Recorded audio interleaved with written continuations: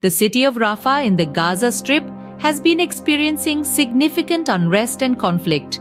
Overnight, heavy artillery shelling and massive airstrikes targeted various locations in the eastern and central parts of Rafah, densely populated areas.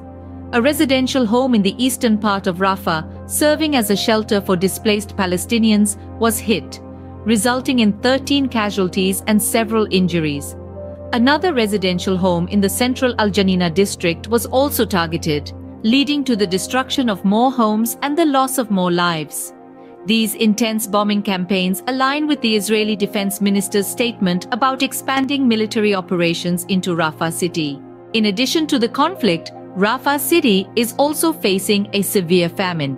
The 1.9 million displaced Palestinians in the area are experiencing acute food shortages, Families are going days without meals, and children are searching for scraps of food in the rubble-filled streets.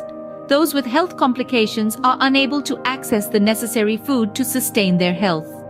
Vulnerable groups, including children, women, and pregnant or breastfeeding individuals, lack the resources and nutrition needed for survival. According to a UN report, nearly half a million people in Gaza a quarter of the population are at the catastrophic level of food crises. Rafah city is on the brink of massive starvation. Rafah city is facing an unprecedented crisis. The conflict has brought physical destruction and loss of life, while a severe famine threatens the lives of its residents. The impact of these events on Rafah city cannot be overstated.